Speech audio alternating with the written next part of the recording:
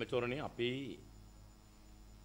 මෙරට ජනතාව හරියටම මීට අවුරුදු තුනකටත් මාසකට පෙරින් මෙරට ජනතාවගෙන් සියයට අසුවකට වඩා චන්දපොලට ගියා මේ රටේ වෙනසක් කිරීමේ අපේක්ෂාවෙන්. සියට අසුවකට වඩා චන්දපොලට ගියා අවුරුද්දු තුනකට පෙරින්. ඒ වෙනස පැතූ ජනතාවම එවනිම ප්‍රතිශතයකින් ඊට ආසන්න ප්‍රතිශතයකින් නැවත මීට දවස් තුනකට ඉස්සර වෙලා චන්දපොලට ගියා වෙනස වෙනස් කිරීමේ පරමාර්ථයෙන්. ඒ වගේම ඒ පෙබරවාරි දහවනිදා මේ රටේ ජනතාව සිට අසුක්තාසන්න චන්දදායකින්ගේ අපේක්ෂාව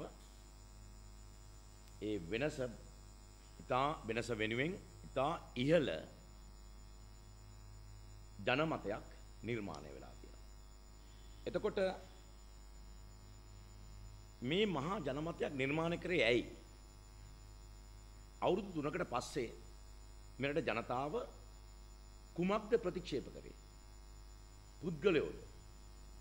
නිශ්චිත කරුණුද? එක එක ආණ්ඩුවේ එක එක පක්ෂවල ප්‍රතිපත්ති වෙන වෙනමද? අපි ඉතා වගකීමෙන් ඔබට කියනවා.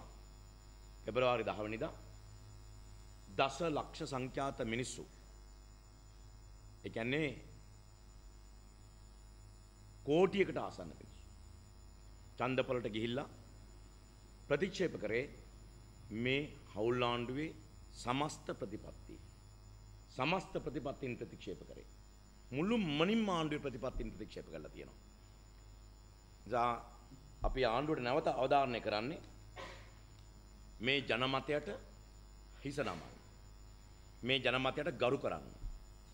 අපි නැවත මතක් කරනවා අතිකරු ජනතුමාට ඔබතුමා තුනෙන් දෙකේ බලයක් සහිතව හිටපු පාර්ලිමේන්තුව.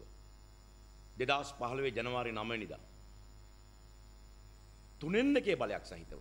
ශ්‍රී ලංකා නිදහස් පක්ෂ විතරක් මන්ත්‍රීවරු එකසිය විසි අයක් හිටපු පාර්ලිමේන්තුව. සහෝදර මන්ත්‍රුන් එකසිය පනස් දෙකක් හිටපු පාර්ලිමේන්තුව.